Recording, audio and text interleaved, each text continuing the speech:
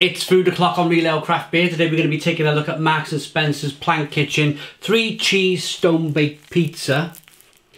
There's a look at it. It's coming in at 416 grams. But what I've really kind of found interesting, well, more than interesting, alarming about this pizza is I'm a full grown man. I'm going to eat this whole pizza.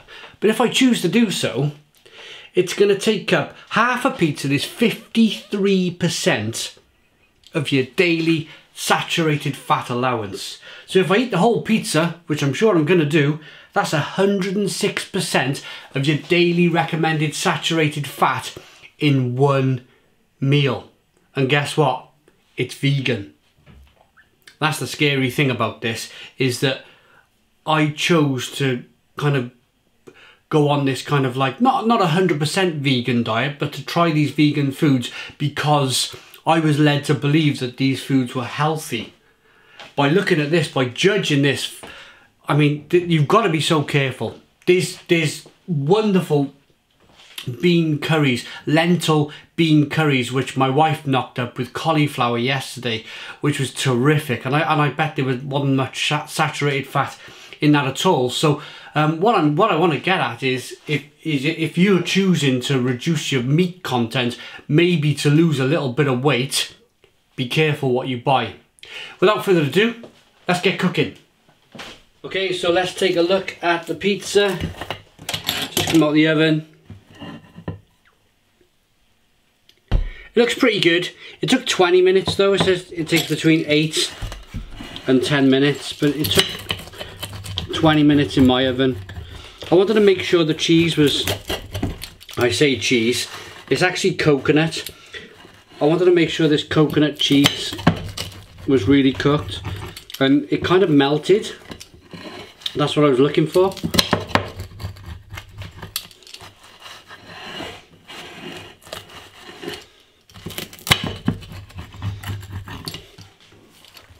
But it's really quite um, It smells like a blue cheese.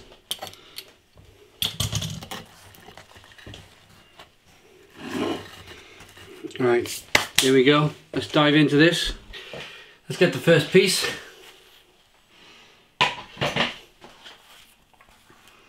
Here's a close look at it. I'll eat the first piece normally. Normally I eat pizza like an Italian. I'll I'll fold it over and eat it from the outside in. Oh, it's hot. Ooh.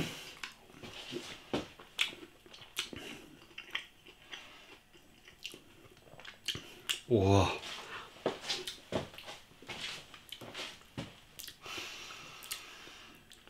Wow. Um, I made sure I went into this review really hungry. It's a whole pizza.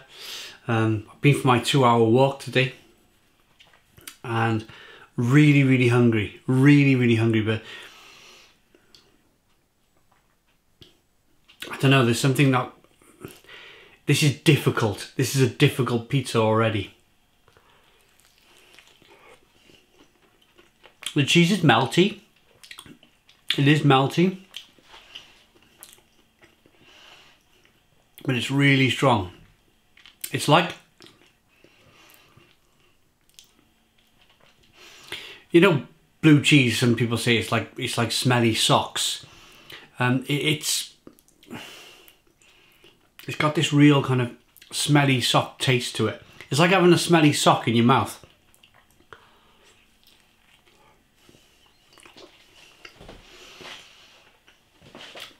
Of course, I'm not one for waste. So I'm going to eat this, even though I really don't like it.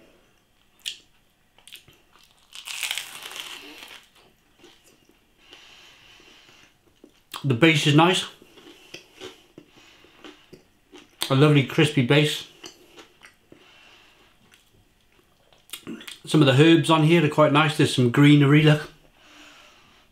They've made a really real effort with this. Um, I quite like their Marks & Spencer Plant Kitchen burgers. I thought they were really good. I also really, really, really like the chicken Kievs. I thought they were, I say chicken Kievs, no chicken Kievs by Plant Kitchen, Marks & Spencer. They were terrific. Really tasty. You wouldn't know the difference between a real chicken Kiev and a no chicken Kiev from Marks and Spencer's, but this this is something entirely different.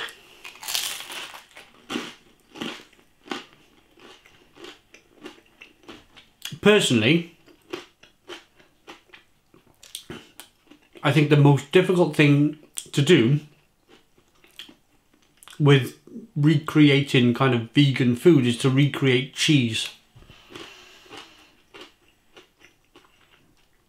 Cheese is really, really, really difficult to do. Um, they can do burgers, they can do sausages, they can do chicken nuggets, they can do chicken, no chicken Kievs, they can do sausage rolls, they can do steak bakes, no, no steak steak bakes. But cheese, cheese is really difficult. I think that's the reason why vegan pizza has not really taken off. And if you're watching this as a vegan and you know of a really, really good vegan pizza, please let me know in the comments box. I'm getting used to it, but it's like, it's really strong, almost sour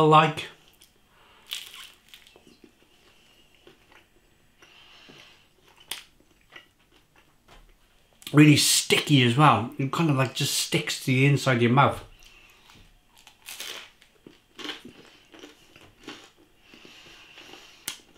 And there's a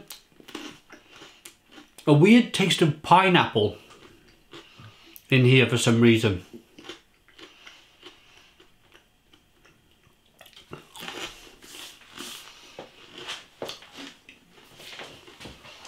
This is going to be a real challenge eating this. I've eaten one slice. There's five to go. I commend, I'm going to fold this.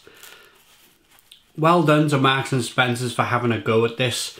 Well done for catering to the vegan market. But this needs improving. Whoa. The tomatoes are nice. It's a stinky cheese. It's I think this is going to repeat on me all afternoon. It's it's five past one in the afternoon. Um,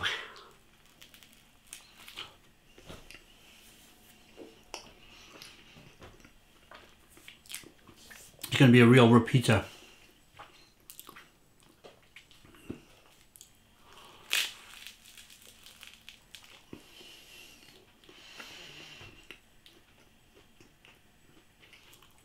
The only real saviour is the is the crust. Lovely crispy. Mm.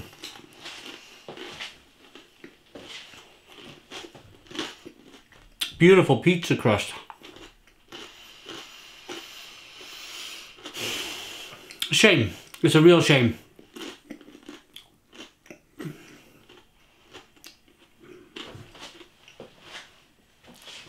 Maybe if you like that kind of maybe if you like vegan cheese maybe you'll love this pizza. It's just not for me. It's really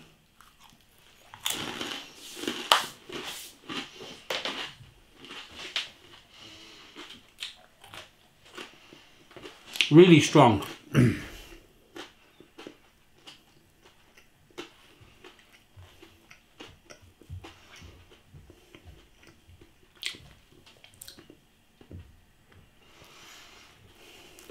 we're going to keep going now. We're not going to give up on this. I don't know, maybe maybe if they put some maybe if they put some onion or, or something. I don't know. Do you have onion on a cheese pizza? I don't think you do, do you? Just thinking ways of, of trying to get away from that kind of really strong cheese, but I don't think there's a way of doing that. It's a three cheese pizza. Whoa.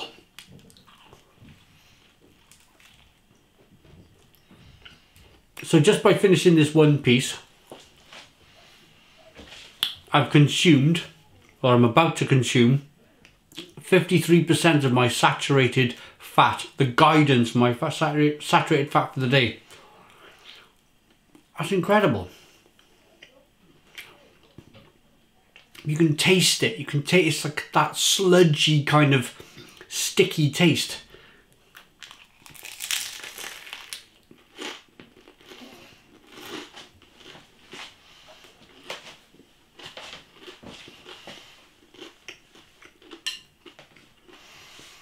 Okay.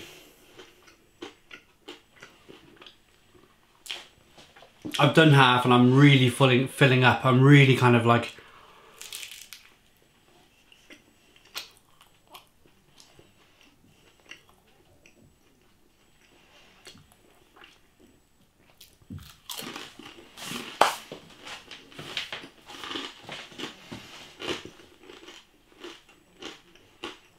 I'm not sure if I'm going to finish it.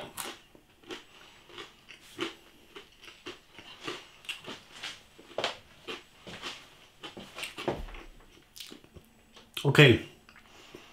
Um, let's do a time lapse. Let's see how much we can eat.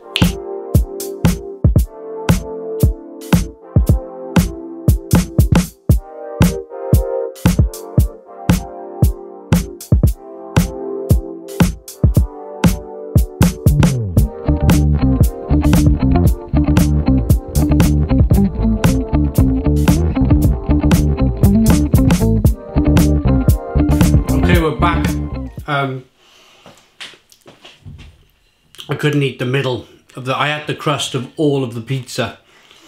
I had another slice, at the two crusts. I, I can't do anymore. My stomach, my stomach is expanded. I feel like I've eaten a ton of fat. The cheese is like really bad, smelly socks. It's sickly. It's a real shame.